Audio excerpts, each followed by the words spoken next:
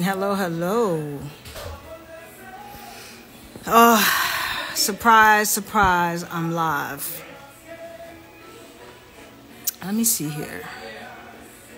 Ah. surprise, surprise. I am live, waiting for some folks to come in. This is an unplanned live. What's going on, Marcy? How you doing? Hey, babe. Thanks for joining. It's a lot of action going on here. You know what I'm saying? I might. I'm going to turn the camera um, around. Did you Did you unplug the beats? I mean, did you? Okay. Okay. Can you put it in a small bowl? There's gonna be a lot of action right now. Um, cause you know it's the day before Thanksgiving. And this is a holiday that's my cousin's favorite holiday. And but I did have a little bit of an announcement to make, which I'll make in a minute. Um, let me show y'all what's going on over here.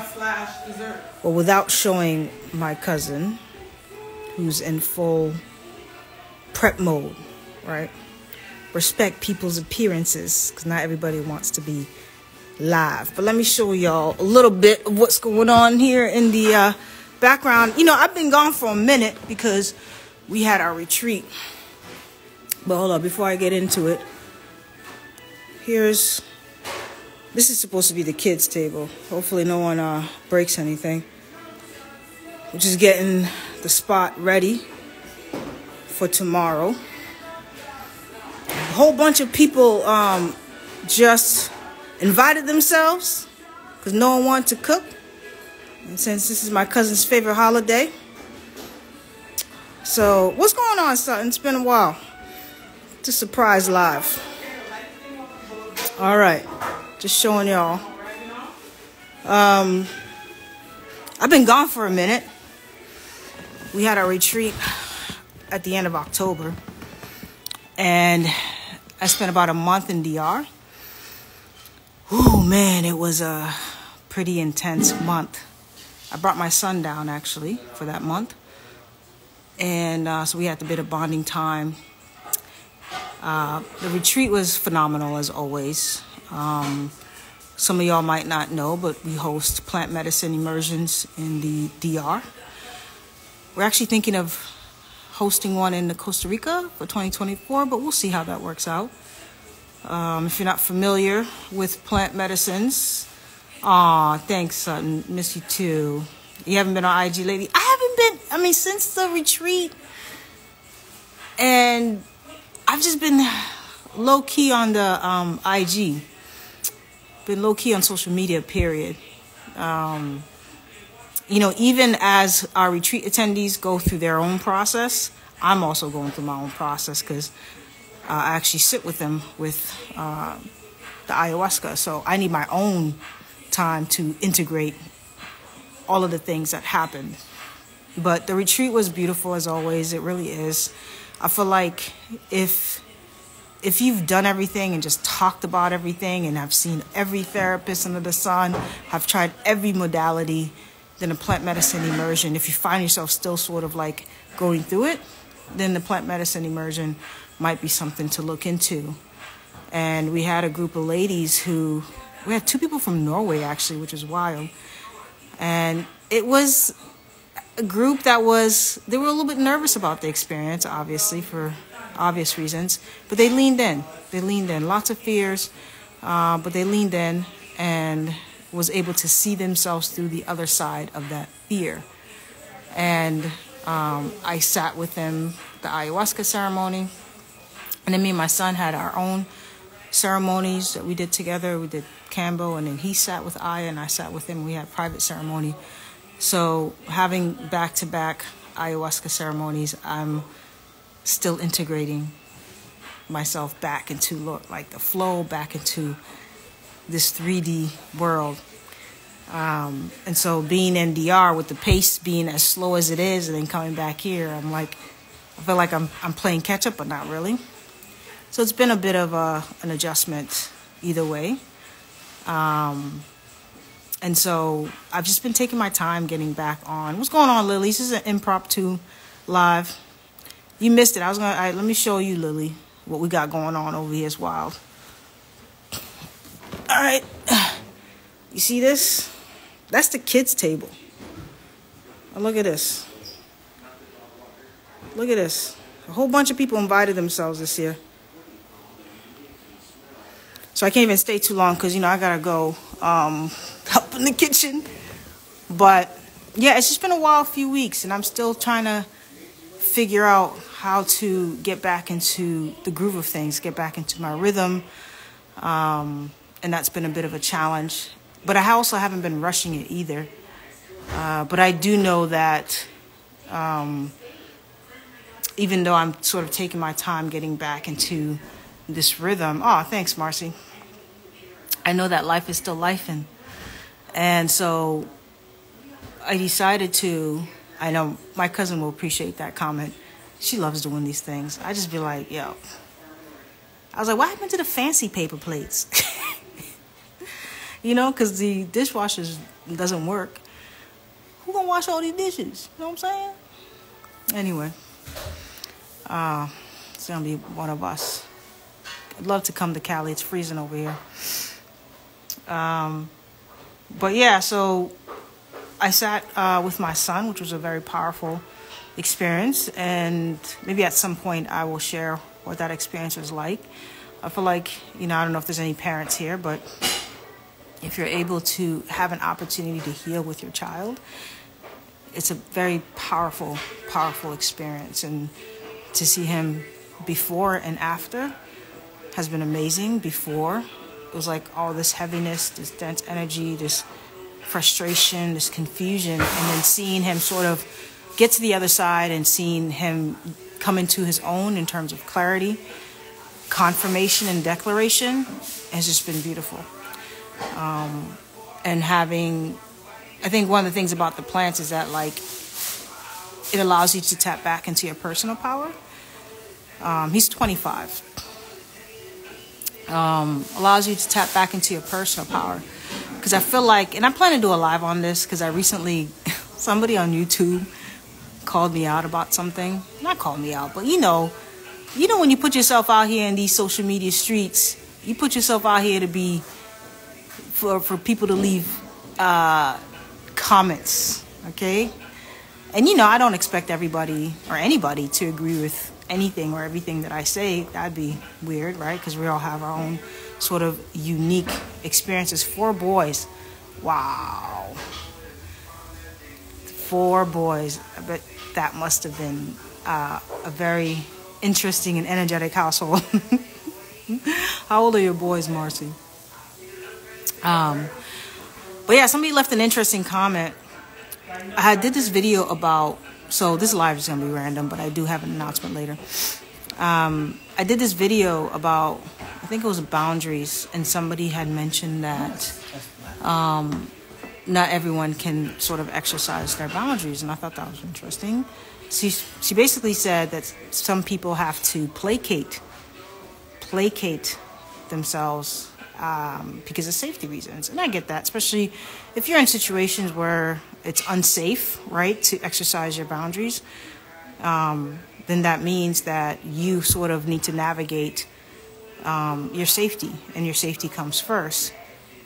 While, and I believe that we all still have a choice, regardless of the situation that we're in. It could mean that, like, the choice might be delayed and come later in life. It might come much, much later when you're at a pla- place where you can actually exercise that choice. But at the end of the day, we still have a choice. We really do. And I think, uh, I feel like throughout this experience, we've, and just the way society is structured, we've forgotten that we do have choices and we do have options. Um, they may not always be the per- most perfect option. They may not be the most ideal option. They might not be options that we like. But at the end of the day, we do have a choice in how we can structure our lives. And I feel like we just forgot that over time because of all sort of like, you know, the trauma and the things that we've experienced. Um, so I do want to go deeper about that in a live somewhere. And I feel like when you do plant medicines, you come back to that original state of being, that you can actually make these choices in your life to change your life. Because at the end of the day, who's going to make those changes, right? Who's going to change the things that you feel that you need to change. No one on the outside can do that for you, not your parents, not your significant other, not your kid, like nobody. We can't and we can't wait for people to to do what they need to do so that we can do what we need to do. We just need to do that for ourselves. And and so one of the things that I'm offering since it is, you know, I don't necessarily participate in these holidays like that. Let me see if I can actually pull this up. I don't even know. No, that's not it. I forgot how I did this last time. Let's see. Meeting in my bed. My bed. How can I pull this up?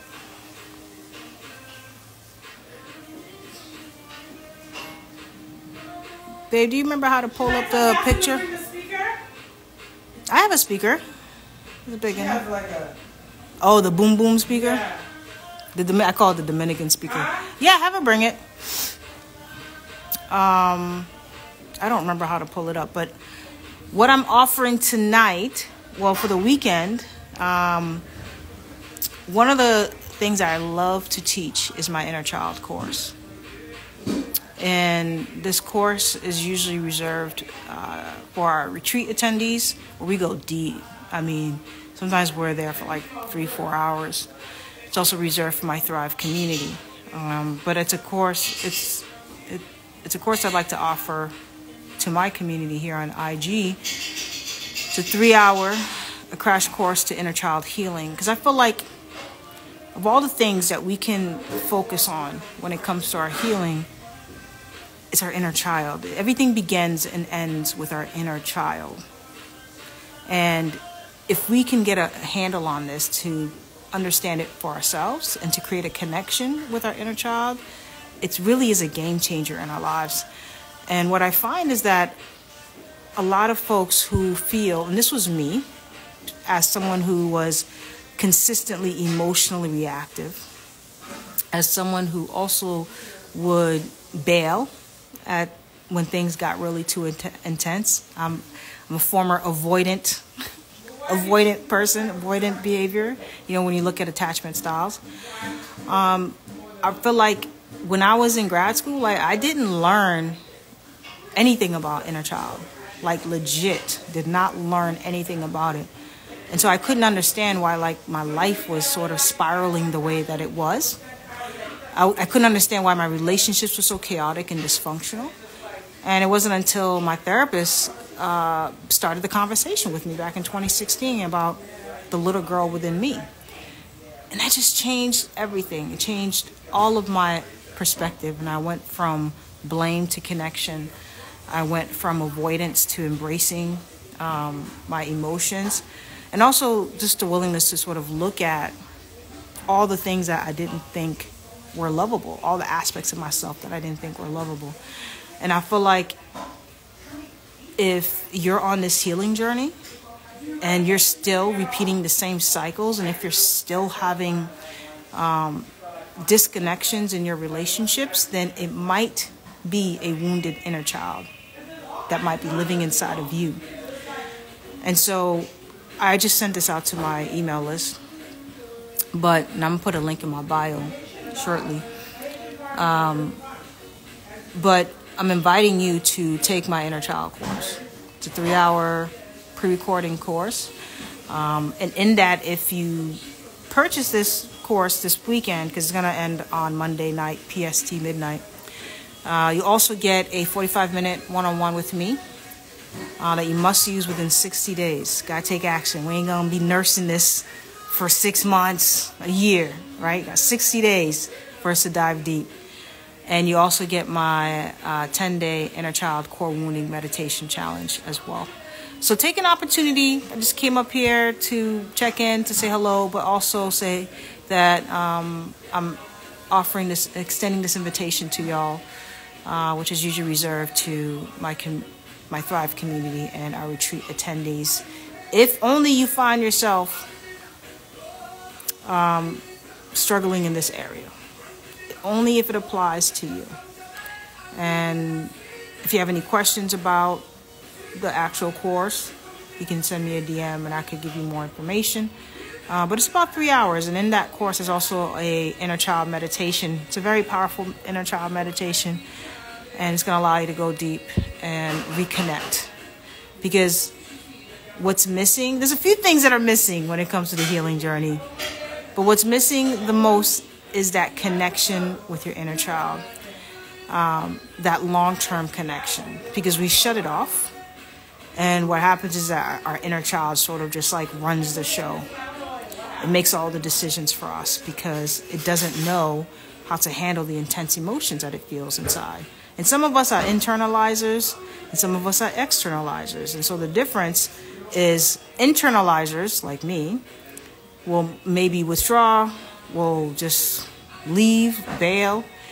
Um, and then you have your externalizers who will have tantrums, who will yell, scream. And you've seen this. I talk about this all the time. The Karens in the supermarket are individuals who have a wounded inner child, or the person who's standing in line who has a hard time standing in line and starts having these emotionally um, intense external reactions. Actually, the, the other day when we were coming back from DR, so funny. We were standing in line in customs, and it was it was a long time. And so finally, a customs officer comes out, and you know I think there's a line for the folks to do the clear they have the, um, they move faster in the customs line, I guess special line. And this one guy was waiting for a while, and there's somebody in front of him, and then there were a few people behind him. And so the lady that was guiding everybody toward the lines, she was so funny. Um, the guy started to complain. Everybody else is just chilling, right? We're just like, you know, it's customs. When you travel internationally, you're gonna wait in line, okay, at the customs. And Maybe if you're lucky, it will move fast, but we all know that this isn't a fast process. And he was getting really antsy and agitated, and he started complaining that there was no one at the window, you know, he's in a special line, that sort of thing, and that, you know, he wants to be served. And so the lady goes up to the customs officer who was serving another line, was like, this guy's being aggressive. Um, can you just serve, begin to serve him, that sort of thing. And the guy's like, I'm not being aggressive and all this other stuff. And I'm watching him, and we're all kind of like, you know, I'm not. It was funny, so I did snicker a little bit. And I watched him, and I, I thought, okay, there's there there's an, a wounded inner little boy right there, right? Um, because when you have a wounded inner child, your emotions are really hard. It's hard for you to balance your emotions it's hard for you to stay centered. It's hard for you to stay sometimes calm in very intense surroundings. Um, some people will say, well, you know, my anger is justified, my reaction is justified.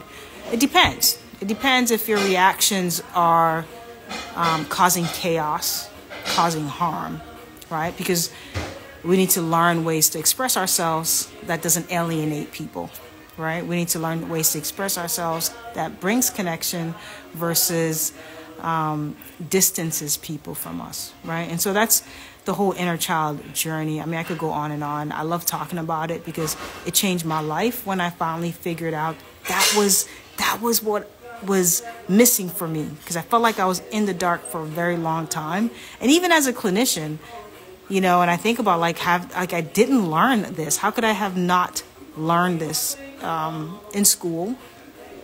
And when I noticed this even for my clients, I'm like, if me, a professional, had a hard time navigating this, I can only imagine, just, you know, just the average person, how hard it could be for them to navigate that part of their lives.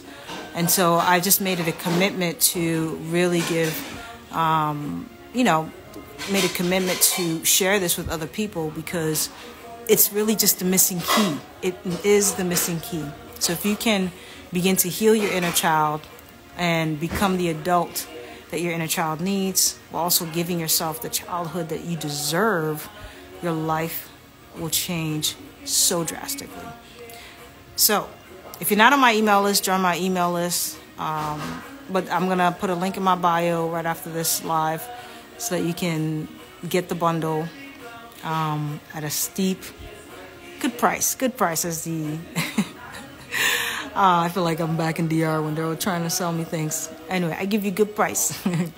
but um, let me know if that's something that you're interested in. And send me a message. I'll send you the link. Uh, but it'll be my bio. And I hope you take me on the offer. Um, and I'll see y'all soon. I, I will be doing an official live next week, next Wednesday. Every Wednesday I go live. Um, so I will see y'all officially next Wednesday. Um, and I will talk to y'all soon. Thanks for joining and enjoy uh, the holidays if that's something that you celebrate, or enjoy the time with your family or loved ones or whomever. If you're solo, enjoy the time with yourself. Thanks for watching, and I'll see y'all soon. Oh, if anybody knew before I leave, if you knew, if you watched me in 2020, this was the robe in 2020. I used to wear this on all the Zoom calls that I attended in 2020. I brought it back because it's cold out here. Anyway. Uh, thank you, Sutton. Thank you, Marcy. Yes, have a great Thanksgiving. Gobble, gobble. And I'll see y'all soon. Take care.